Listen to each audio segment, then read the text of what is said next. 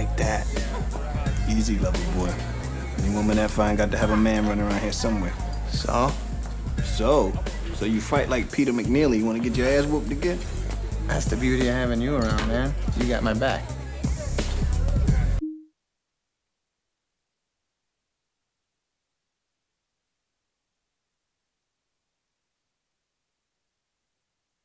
You hope.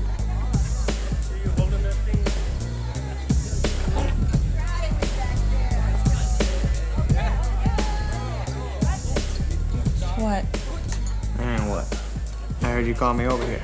I didn't call you over here. My friend told me you called me over here. Said you wanted to make out with me. He said you said that. Are you kidding? What? He's the one who said it. I will if you. What's up? What the fuck do you think you're doing? I know, uh, looks like I was uh, hitting on your girlfriend here, but, uh, in actuality, I was fucking hitting on her harder than you think, motherfucker. So why don't you step the fuck back before I bitch slap your fucking hiney? I'm gonna kill you. Hey, my man.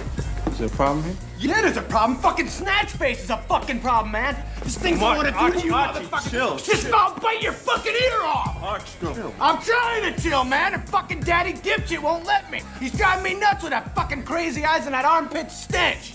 Okay, okay, well, okay. Uh, apparently y'all got some shit to work out. No, no, no, no, no. We worked this shit out. It's all worked out. Hey, man, I'm glad we worked this shit out, man. Let me buy you a drink. You buy me, I'll buy you a Kick him in drink. the balls. Kick him in the balls. Kick him in the balls.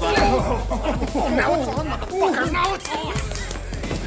Keith! Man, not like that. So what's up? Like this.